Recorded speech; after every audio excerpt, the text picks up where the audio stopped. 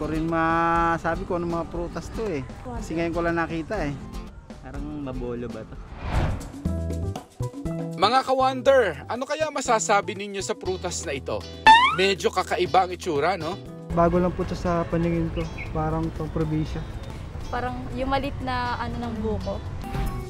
Eh game ka rin bang kumain ng prutas na ito? Ah, medyo maasim siya and para sa akin ah, medyo weird yung lasa kasi first time ko lang makakain ng ganyan. Parang maasim siya na konti. Dahil sa kakaibang itsura ng prutas na ito, nakatmon kung tawagin, inaayawan ito ng ilan. Pero dito sa Bureau Plant Industry sa Malate, Manila, pilit pang pinararami ang katmon.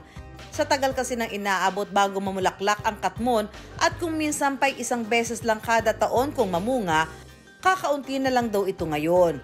Yung ating pong pagputol, dahil isa pong magandang lumber po ito, at yung hindi na po ah, pagtatanim ditong mga punong ito dahil mahirap din po siyang ah, patubuin, especially yung pagkokolek ng buto at saka yung pagpupunla.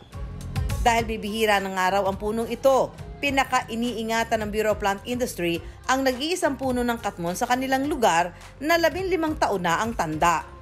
Dito rin nila pinararami ang mga seedling ng katmon at iba pang halaman para maipamahagi sa iba't ibang lugar. Sa ganitong paraan, muli nilang napararami ang mga prutas na bibihira ng makita ngayon. Tandaan po natin na ang katmon po ay ah, tuwing ah, Pebrero hanggang Abril lang po ito nakakapag-collect ng bunga o namumunga. So, first week ng Abril onward ay hinog na po si katmon. Kaya ito na po yung tamang ah, buwan para po tayo ay mag-propagate o magparami. Isa sa mga nakikinabang sa proyekto ng Bureau of Plant Industry ang Barrio San Jose sa Santa Ana, Pampanga. Dito matatagpuan ang isang grupo ng advokasya muling paramihin ng katmon. Dati sagana raw kasi ito sa kanilang lugar. Kaya nga ang tawag sa barangay nila dati ay Barrio Katmon. before meron eh, maraming katmon tree dito, dito sa ba- barangay. Tapos uh, as time passed by, nawala na sila. So ang aim, ang goal talaga nito is maibalik yung mga tanim or yung katmon tree dito sa ba- sa barangay. Hinahanap-hanap nga raw ng mga taga Barrio San Jose o mga pimpenyo kung tawagin ang katmon. Lalo't ito raw ang nakasanayan nilang pampaasim sa kanilang mga lutuin. At para matikman natin ang kanilang sinigang na hito sa katmon, isasample ito sa atin ng 62 years old na si Nanay Fermina na naabutan pa raw ang panahong nagluluto ng mga ulam ang kanyang lola gamit ang katmon.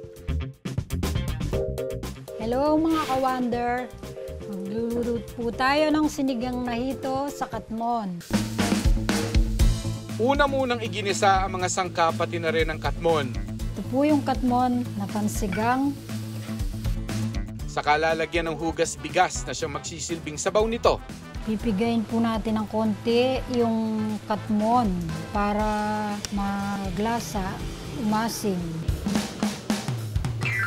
Kapag lumambot na ang katmon at kumatas na sa sabaw, pwede nang ilagay ang piniritong isda. Ito na po ang sinigang na hito sa Katmon.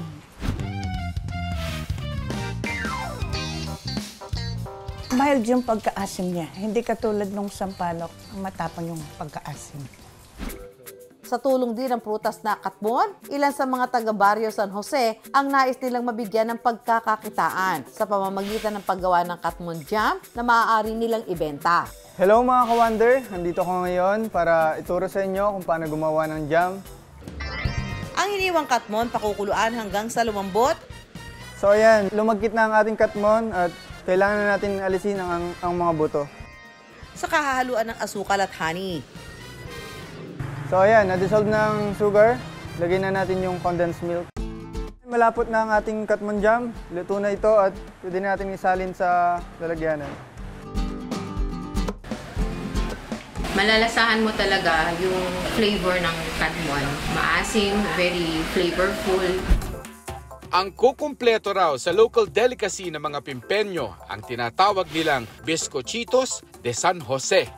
Ito raw ang the best na kapares ng kanilang katmon jam. Hello mga ka-wonder! Ngayon, ituturo ko kung paano gawin ang Biscochitos de San Jose na inaalay tuwing kapistahan ni St. Joseph.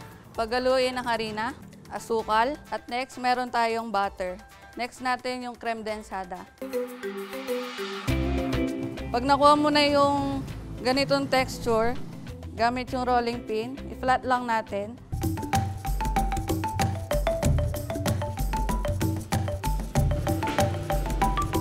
Pagkatapos i-bake ang biscochitos, lalagyan natin ng katmon jam.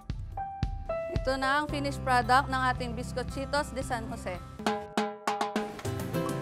Ingibabaw pa rin po yung jam na talagang pwedeng-pwede po siyang ipalaman sa biscuits lalo. Nagko-combine po siya, hindi nakakasuya, hindi nakakasawa.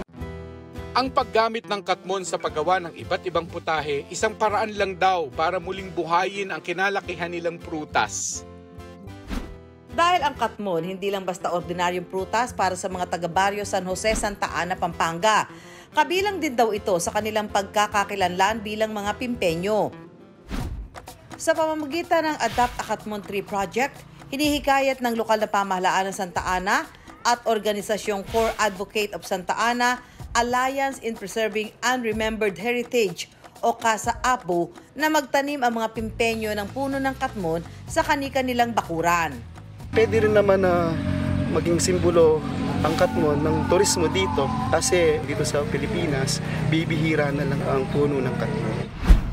Ang mga seedling ng katmon, libre nilang ipinamimigay sa kanilang mga kabaryo. Sa ganitong paraan, may babalik daw sa kanila ang nawala nilang pagkakakilanlan at maipakikita ang kahalagahan ng prutas na ito sa mga susunod na henerasyon.